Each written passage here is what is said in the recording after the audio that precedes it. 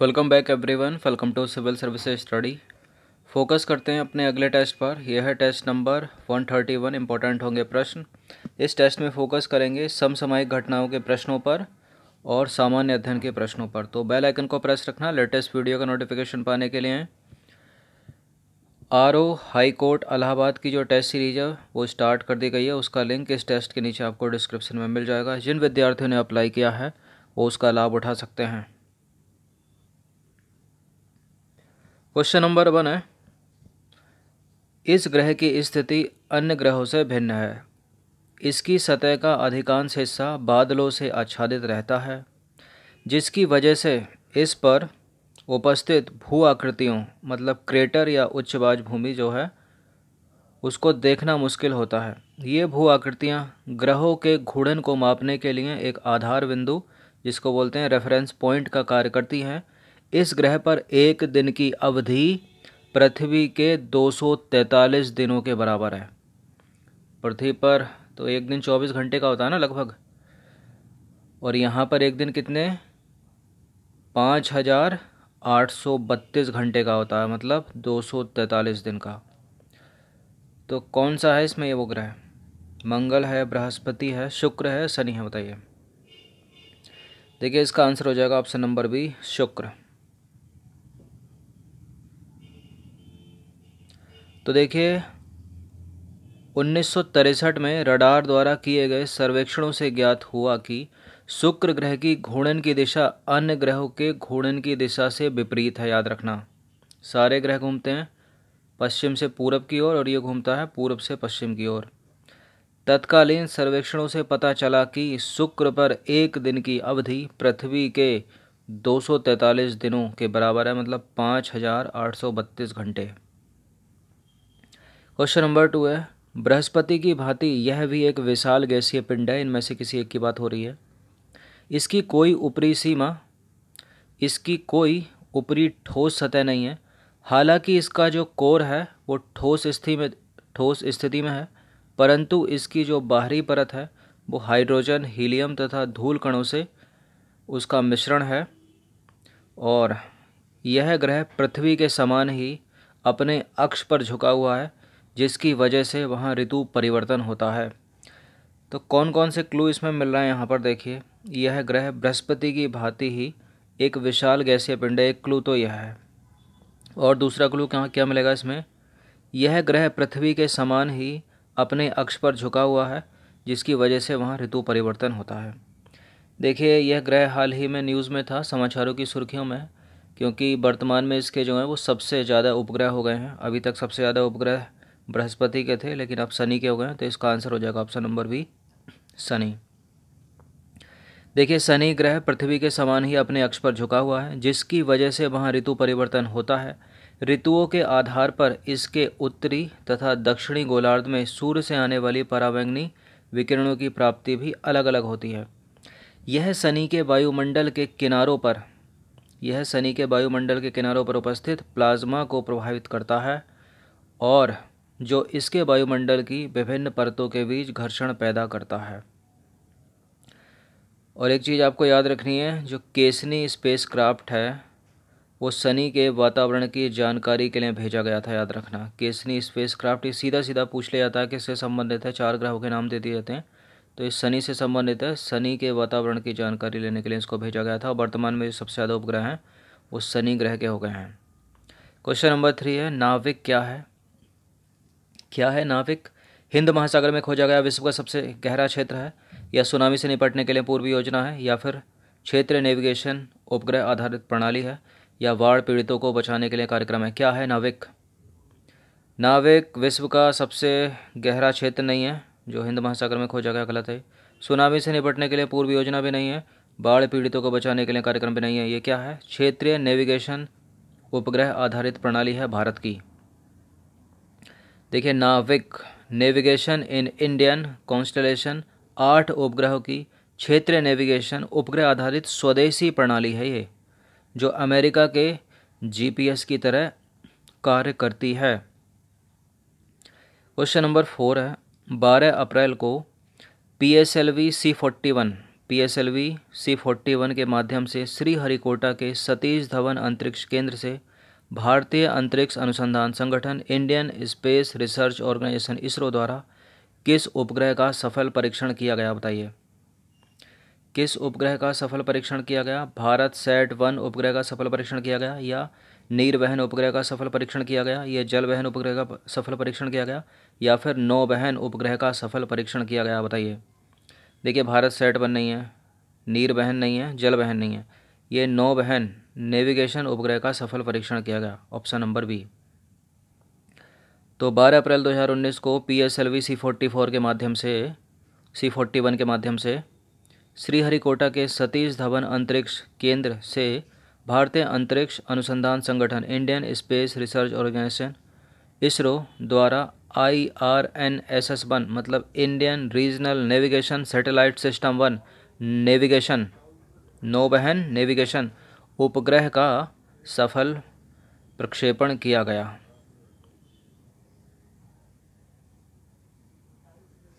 चलिए। Question number five है, नाविक की कार्यप्रणाली के संदर्भ में ये शब्द नहीं है। सॉरी फॉर दिस सत्य है। नेविगेशन की कार्यप्रणाली के संदर्भ में सत्य है। क्या सत्य है इनमें से? नाविक के उपग्रह दो माइक्रोवेव फ्रीक्वेंसी बैंड पर सिग्नल देते हैं, जो है एल फाइव और एस जो एल फाइव और एस के नाम से जाने जाते हैं। सेकंड है, यह स्टैंडर्ड पोजिशनिंग सर्विस तथा री स्ट्रिक्टेड सर्विस की सुविधा प्रदान करता है। बताइए इनमें से कौन सा करेक्ट है, कौन सा इनकरेक्ट है, दोनों इनकरेक्ट हैं, दोनों करेक्ट हैं। देखिए सेकंड वाला क्या है? यह स्टैंडर्ड पोजिशनिंग सर्विस तथा रीस्ट्रिक्टेड सर्विस की सुविधा प्रदान करता है करेक्ट है? और नाविक के दो उपग्रह दो उपग्रह जो हैं, वो माइक्रोवेव फ्रिक्वेंसी बैंड पर सिग्नल देते हैं, जो है एल फाइव और एस करेक्ट है, दोनों के दोनों स्टेटमेंट नाविक की कार्यप्रणाली के संदर्भ में दोनों कथन सत्य हैं। देखिए नाविक की जो कार्यप्रणाली है नाविक के दो उपग्रह माइक्रोवेव फ्रिक्वेंसी बैंड पर सिग्नल देते हैं, जो है एल फाइव और एस और यह स्टैंडर्ड पोजिशनिंग सर्विस री स्ट्रिक्टेड सर्विस की सुविधा प्रदान करता है। इसकी री स्ट्रिक्टेड सर्विस सेना तथा महत्वपूर्ण सरकारी कार्य प्रणालियों के लिए सुविधा प्रदान करने का काम करती है। ये मोस्ट इम्पोर्टेंट है और पूछा जा सकता है। अगला क्वेश्चन है नाविक से संबंधित है। क्षेत्र नेविगेशन उपग्रह आधारित स्वदेशी प्रणाली नाविक के निम्न में से क्या क्या उपयोग हो सकते हैं, बताइए। क्या इसका उपयोग वाहनों को ट्रैक करने में हो सकता है? क्या मछली पकड़ने वाली नौकाओं में हो सकता है? क्या आपदा प्रबंधन में हो सकता है? क्या स्थलीय, हवाई और समुद्री नौवहन में हो सकता है क्या? क्षेत्रीय नेविगेशन उपग्रह आधारित स्वदेशी प्रणाली है नाविक। इसका उपयोग आपदा प्रबंधन में भी हो सकता है। वाहनों को ट्रैक करने में भी हो सकता है, मछली पकड़ने वाली नौकाओं में भी हो सकता है, स्थलीय हवाई और समुद्री नौबहन में भी हो सकता है, इसका आंसर हो जाएगा वन, टू, थ्री और फोर। देखिए, ये सारे इसके उपयोग हैं, जल्दी से इनको कवर कर लेते हैं, नाविक के उपयोग क्या हैं? वर्तमान में इसका प्रयोग परिवहन संसाधनों में किया जा रहा है, ताकि वाहनों को ट्रैक किया जा सके, साथ ही दुर्घटना इत्यादि जैसी अप्रत्याशित घटनाओं का शीघ्रता से पता लगाया जा सके चल सके। देखिए, इसका उपयोग मछली पकड़ने वाली नौकाओं में भी किया जा रहा है। इसके अतिरिक्त सड़क परिवहन और राजमार्ग मंत्रालय ने पिछले वर्ष आदेश दिया था कि सभी राष्ट्रीय परमिट वाले वाहनों में ट्रैकिंग उपकरण होने चाहिए।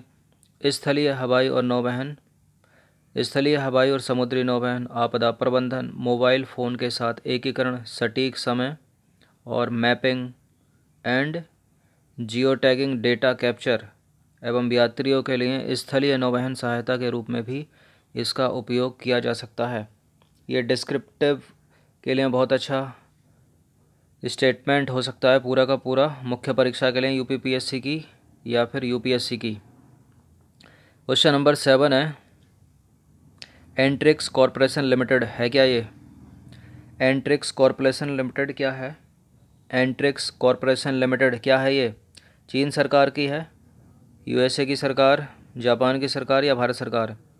एंट्रिक्स कॉरपोरेशन लिमिटेड, देखिए, भारत सरकार की पूर्ण स्वामित्व वाली कंपनी है, जिसका प्रशासनिक नियंत्रण अंतरिक्ष विभाग भारत सरकार के पास है। तो एंट्रिक्स कॉरपोरेशन लिमिटेड, ये भारत सरकार की पूर्ण स्वामित्व वाली कंपनी है, जिसका प्रशासनिक नियंत्रण अंतरिक्ष विभाग भारत सरकार के पास है। एंट्रिक्स कॉरपोरेशन लिमिटेड को सितंबर उन्नीस में अंतरिक्ष उत्पादों, तकनीकी परामर्श सेवाओं और इसरो द्वारा विकसित प्रौद्योगिकियों के वाणिज्यिक दोहन में प्रचार प्रसार के लिए सरकार के स्वामित्व वाली एक प्राइवेट लिमिटेड कंपनी के रूप में स्थापित किया गया था। इसका एक अन्य प्रमुख उद्देश्य भारत में अंतरिक्ष से संबंधित औद्योगिक क्षमताओं के विकास को बढ़ावा देना है। क्वेश्चन नंबर एट है, भारत में सिविल सेवा का पिता किसे कहा जाता है? इम्पोर्टेंट है ये प्रश्न। भारत में सिविल सेवा का पिता, पुलिस सेवा का पिता, जमींदारी व्यवस्था का फादर जो कहा जाता है, वो लॉर्ड कार्नोवालिस को कहा जाता है। तो इसका आंसर हो जाएगा option number D lord Ripon Bharat में स्थानीय स्वशासन का जनक है। भारत में स्थानीय स्वशासन का जनक लॉर्ड रिपन है। और डल होजी ने व्यपगत का सिद्धांत डॉक्ट्रिन ऑफ़ लैब्स का सिद्धांत दिया था। याद रखिएगा राज हड़प नीति क्वेश्चन नंबर नाइन है, चिपको आंदोलन से कौन संबंध रखता है? इस प्रश्न का उत्तर क्या होना चाहिए? गौरा देवी, चंडी प्रसाद भट्ट, सुंदरलाल बहुगुणा या ये सभी? देखिए, अधिकतर जो बहुत सारे स्टूडेंट हैं, उनको सुंदरलाल बहुगुणा का पता है। लेकिन जो ये चिपको आंदोलन था, ये शुरू किया गया था चंडी प्रसाद भट्ट और गौरा देवी के द्वारा। बाद में इन्होंने कंटिन्यू किया था मतलब महत्वपूर्ण भूमिका निभाई थी। तो लेकिन इसका जो संबंध है, इन सभी से है। तो पेड़ों को बचाने के लिए इस तरह से पेड़ों पर चिपक गए थे उत्तराखंड के लोग। देखिए, आज से करीब 45 साल पहले उत्तराखंड में एक जन आंदोलन की शुरुआत हुई थी, जिसे नाम दिया गया था चिपको आंदोलन। इस आंदोलन की, इस आंदोलन की चंडी प्रसाद भट्ट और गोरा देवी की ओर से की गई थी। इस आंदोलन की जो शुरुआत थी, इस इस थोड़ी शुरुआत यहाँ पर रह गया है। इस आंदोलन की जो शुरुआत थी, वो चंडी प्रसाद भट्ट और गौरा देवी की ओर से की गई थी और भारत के प्रसिद्ध सुंदरलाल बहुगुणा ने आगे इसका नेतृत्व किया। इस आंदोलन में पेड़ों को काटने से बचाने के लिए गाँव के लोग पेड़ से चिपक जाते थे। इसी वजह से इस आंदोलन का नाम चिपको आंदोलन पड़ा था। मार्च में इसको 45 साल हो गए। क्वेश्चन नंबर दस है। भारत का सबसे पहला नेशनल पार्क है। आसान सा प्रश्न है। कौन सा है इसमें? भारत का सबसे पहला नेशनल पार्क। देखिए, यह है हैली नेशनल पार्क, जिसको बाद में बोला गया कार्बेट नेशनल पार्क, और आज भी इसका नाम कॉर्बेट नेशनल पार्क है। यह उत्तराखंड के नैनीताल ज़िले में स्थित है, और सबसे पहले प्रोजेक्ट टाइगर 1973 में इसी नेशनल पार्क से शुरू किया गया था। ग्यारहवा प्रश्न है, निम्नलिखित में से कौन सी पूर्व वाहिनी नदी नहीं है? पूर्व वाहिनी मतलब इस दिशा में नहीं बहकर इस दिशा में बहती है, या किसी और दिशा में बहती है तो देखिए, यहाँ पर कावेरी पूर्व वाहिनी नदी है, कृष्णा भी पूर्व वाहिनी नदी है, महानदी भी पूर्व वाहिनी नदी है, लेकिन जो लूनी है वो पूर्व वाहिनी नहीं, ये पश्चिमी वाहिनी नदी है, राजस्थान की नदी है लूनी। देखिए, लूनी, यह नदी अरावली पर्वत के निकट नाग पहाड़ से उत्पन्न होकर दक्षिण पश्चिम क्षेत्र में प्रभावित होते हुए कच्छ के रन में जा मिलती है, और यह नदी जैतारण के लोटोती से भी निकलती है तथा रास से भी निकलती है। इस नदी का पानी उद्गम स्थान से लेकर बालोतरा तक मीठा होता है, लेकिन बालोतरा में पहुँचते ही उसके बाद ये खारा हो जाता है। कुछ इम्पोर्टेंट तथ्य इससे जुड़े हुए, इसकी लंबाई है चार सौ पचानवे किलोमीटर, स्रोत है इसका अरावली, मुहाना है इसका कच्छ का रण। मुहाना क्या होता है? जहाँ पर यह विलीन हो जाती है। बाकी देश है अपना इंडिया, और इस पर एक ब्रिज भी बनाया गया है, इसका नाम याद रखिए, Luni river bridge. Luni river bridge. Question number बारह है, इनमें से कौन एक संवैधानिक निकाय है? देखिए, कवर करा रहा हूँ, संवैधानिक निकाय और गैर संवैधानिक निकाय इंपॉर्टेंट है, पूछी जाती हैं। लास्ट टेस्ट में कराया था, संवैधानिक निकाय, बता दिया है कौन कौन सी होती हैं। तो यहाँ पर देखिए, इसमें एक ही केवल संवैधानिक निकाय है, वो है नियंत्रक एवं महालेखा परीक्षक। नियंत्रक एवं महालेखा परीक्षक, भारतीय संविधान के आर्टिकल 146 में इसका प्रावधान है। और बाकी राज्य का सूचना आयोग, नीति आयोग, राज्य मानवाधिकार आयोग, ये क्या हैं? ये गैर संवैधानिक निकाय हैं। क्या होती हैं गैर संवैधानिक निकाय? ये सारी की सारी गैर संवैधानिक निकाय हैं, जिनका उल्लेख भारत के संविधान के किसी अनुच्छेद में नहीं है। इनको बाद में बनाया गया इनकी आवश्यकता के अनुसार। जैसे, नीति आयोग, पहले कभी योजना आयोग हुआ करता था। एक जनवरी 2015 को इसका नाम परिवर्तित करके नीति आयोग कर दिया गया संसद के द्वारा। राष्ट्रीय विकास परिषद और राष्ट्रीय मानव अधिकार आयोग तो राज्य का भी मानव अधिकार आयोग होगा। केंद्र सूचना आयोग तो राज्य का भी सूचना आयोग होगा। केंद्रीय सतर्कता आयोग, इसको बोलते हैं सीबीसी सेंट्रल विजिलेंस कमीशन केंद्रीय जाँच ब्यूरो या केंद्रीय अन्वेषण ब्यूरो, ये भी एक गैर संवैधानिक निकाय है और लोकपाल एवं लोकायुक्त ये भी बाद में बनाए गए तो ये भी गैर संवैधानिक निकाय हैं। लोकपाल कहाँ पर था? केंद्र में और लोकायुक्त होता है राज्यों में। क्वेश्चन नंबर थर्टीन है केंद्रीय सतर्कता आयोग सीबीसी सेंट्रल विजिलेंस कमीशन के संदर्भ में कोई एक इसमें से असत्य है। ये क्या है? नॉन कॉन्स्टिट्यूशनल बॉडी है मतलब गैर संवैधानिक निकाय है, जैसा कि अभी बताया। इसकी स्थापना उन्नीस सौ चौंसठ में केंद्र सरकार के तहत सरकारी भ्रष्टाचार की पहचान व सतर्कता निगरानी करने के लिए की गई। केंद्रीय सतर्कता आयुक्त को भारत के राष्ट्रपति द्वारा नियुक्त किया जाता है। केंद्रीय सतर्कता आयुक्त का कार्यकाल पाँच वर्ष का होता है और इसे एक स्वायत्त निकाय का दर्जा प्राप्त है। बताइए, कौन सा इसमें गलत करूँ? कौन सा असत्य है? पहला भी असत्य है और दूसरा भी असत्य है। राष्ट्रपति द्वारा नियुक्ति की जाती है इसके अध्यक्ष की और यह एक स्वायत्त निकाय भी है, ये भी करेक्ट है। बाकी इसमें जो सी है वो इनकरेक्ट है क्योंकि इसका जो कार्यकाल है ना, इसके अध्यक्ष का, केंद्रीय सतर्कता आयुक्त का जो कार्यकाल है वो पाँच वर्ष का नहीं होता, वो तीन वर्ष का होता है, याद रखिएगा। क्वेश्चन नंबर फोर्टीन है, हाल ही में किन दो राज्य में विधानसभा चुनाव संपन्न हुए हैं? इम्पोर्टेंट है, पता होगा सभी को। उसको नहीं पता है तो इसका उत्तर है हरियाणा और महाराष्ट्र में। अक्टूबर में हुए। क्वेश्चन नंबर फिफ्टीन है, इनमें से कौन से शब्द अर्थशास्त्र से संबंध रखते हैं? राहु और राघव, तेजड़िया और मंदरिया, रेबड़ी और नेबड़ी, गोदड़ी और बोदरिया। देखिए, अर्थशास्त्र में जो संबंध है, जिनका संबंध है, वो है तेजड़िया और मंदरिया। इनको सटोरिया बोला जाता है। क्या बोला जाता है? सटोरिया। क्वेश्चन नंबर सिक्सटीन है, इनमें से कौन जैव निम्नकीकरण नहीं है? जैव निम्नकीकरण या जैव निम्नीकरण, या इसको बोला जाता है बायोडिग्रेडेबल। बायोडिग्रेडेबल क्या होता है? जो सूक्ष्म जीवों के द्वारा कार्बनिक पदार्थों में बदल दिए जाते हैं। तो खीरे के छिलके, इसमें बायोडिग्रेडेबल है मतलब जैव निम्नीकरण है। पेड़ से टूटी पत्तियाँ भी जैव निम्नीकरण है। बाघ द्वारा मारा गया हिरण, अगर बाघ ने हिरण मार दिया है, आधा खाया आधा ऐसे छोड़ दिया तो उसको जो सूक्ष्म जीवी होते हैं, वो सड़ा गला देते हैं। कार्बनिक पदार्थों में तोड़ देते हैं। ये जो टूथ ब्रश है यहाँ पर, ये बायोडिग्रेडेबल नहीं है, क्योंकि प्लास्टिक का बना है, प्लास्टिक बायोडिग्रेडेबल थोड़ी है। क्वेश्चन नंबर सेवनटीन है, खराई ऊँट के संदर्भ में कौन सा कथन गलत है? खराई कैमल के संदर्भ में कौन सा कथन सत्य है इसमें? बताइए। देखिए नॉइस पोल्यूशन थोड़ा आ सकता है, पीछे से इग्नोर करिएगा उसको। खराई ऊँट इंपॉर्टेंट है, कौन सा ये गलत है? यह कच्छ के रण की दलदली भूमि में पाया जाता है। यह जंगली होता है, इसलिए पालतू नहीं बनाया जा सकता। यह ऊँट की प्रजाति का अकेला तैरने वाला ऊँट है। वर्तमान में इसकी संख्या कम हो रही है, इसलिए आईयूसीएन की संकटग्रस्त सूची में सूचीबद्ध है ये। बताइए, कौन सा करेक्ट है इसमें? कौन सा इनकरेक्ट है? खराई कैमल? वैसे तो इनकरेक्ट ही ढूंढना है आपको। देखिए, जो खराई कैमल है, जो खराई ऊँट है, यह कच्छ के रण की दलदली भूमि में पाया जाता है। करेक्ट है। यह ऊँट की प्रजाति का अकेला तैरने वाला ऊँट है। और देखिए इसकी जो संख्या है वो साढ़े छः हज़ार के लगभग पहुँच गई है। इसलिए आई ने इसे इंडेंजर्ड घोषित कर दिया है मतलब संकटग्रस्त सूची में डाल दिया है। देखिए, दस हज़ार से कम अगर किसी प्रजाति की संख्या हो जाती है तो जो आई है, उसको वो संकटग्रस्त सूची में इंडेंजर्ड स्पीसीज़ की सूची में डाल देती है। और इस चीज़ को याद रखिए, दस हज़ार से कम। यह जंगली होता है, लेकिन पालतू बनाया जा सकता है। वहाँ के लोग इसको पालतू बनाते हैं, गलत है ये। पालतू बनाकर पाला जा रहा है। क्वेश्चन नंबर एटीन है, निम्नलिखित में से कौन सही सुमेलित नहीं है? अल्फ़ा कोशिकाओं से निकला ग्लूकेगॉन इंसुलिन बीटा कोशिकाओं से निकला इंसुलिन हार्मोन्स और देखिए अल्फ़ा कोशिकाओं से निकला ग्लूकेगॉन हार्मोन्स बीटा कोशिकाओं से निकला इंसुलिन हार्मोन्स गामा कोशिकाओं से निकला सोमेटोस्टेटिन हार्मोन्स और टेस्टिस कोशिकाओं से निकला एस्ट्रोजन हार्मोन्स ये करेक्ट है, ये करेक्ट है, ये करेक्ट है, ये इनकरेक्ट है। टेस्टिस कोशिकाओं से तो टेस्टेस्ट्रोन निकलता है ना एस्ट्रोजन प्रोजेस्ट्रोन तो अंडा कोशिकाओं से निकलते हैं, गलत है ये। निम्न में से कौन एक बार फिर से सही सुमेलित नहीं है? एंडीज एक वलित पर्वत है, हिमालय एक वलित पर्वत है, रॉकी एक वलित पर्वत है, अरावली के सामने भी वलित पर्वत ही लिख दिया। तो करेक्ट है करेक्ट है करेक्ट है, ये इनकरेक्ट है क्योंकि ये एक अवशिष्ट पर्वत है, अरावली, सबसे पुराना। क्वेश्चन नंबर ट्वेंटी है, वर्तमान में मत्स्य उत्पादन में प्रथम स्थान पर कौन सा देश है? कौन सा देश है, प्रथम स्थान पर? यह प्रश्न पूछा ही जाना है इस बार जहाँ तक है।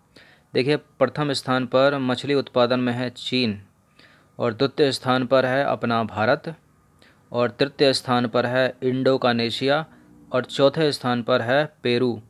ये चारों को बढ़ते हुए क्रम में याद रखिए इम्पोर्टेंट है।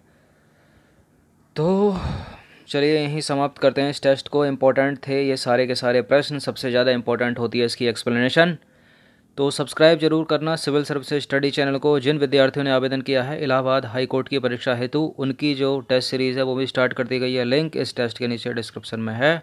अपनी इच्छा के अनुसार विज़िट करिए। धन्यवाद।